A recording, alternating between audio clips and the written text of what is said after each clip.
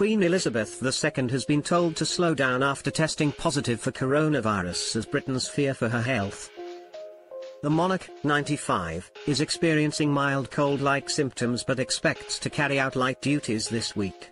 Buckingham Palace said in a statement, Buckingham Palace confirmed that the Queen has today tested positive for COVID. Her Majesty is experiencing mild cold-like symptoms but expects to continue light duties at Windsor over the coming week. She will continue to receive medical attention and will follow all the appropriate guidelines. Now, Britons have urged the Queen to rest and many have sent her good wishes and speedy recovery. One Twitter user, Nina Kettle, wrote, sending good vibes that the Queen does not have too bad symptoms and recovers quickly.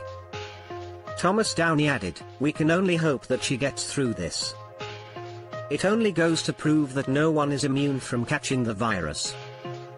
Mona wrote, get well soon, your majesty. With Julie saying, take the week off love. Another said, just rest mom.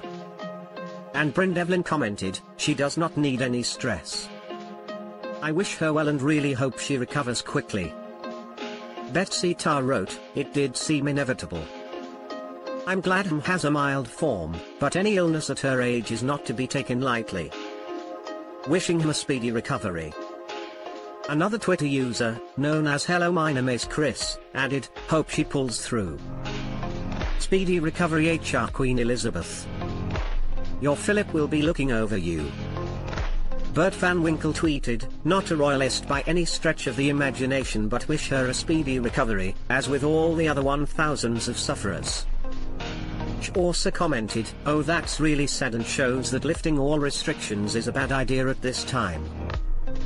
Hopefully it will be mild and she is strong enough to fight it off.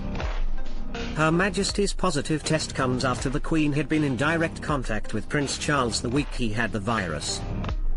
She is believed to have spent time with the Prince of Wales on February 8 when he hosted an investiture at Windsor Castle. A few days later he tested positive but made a quick recovery.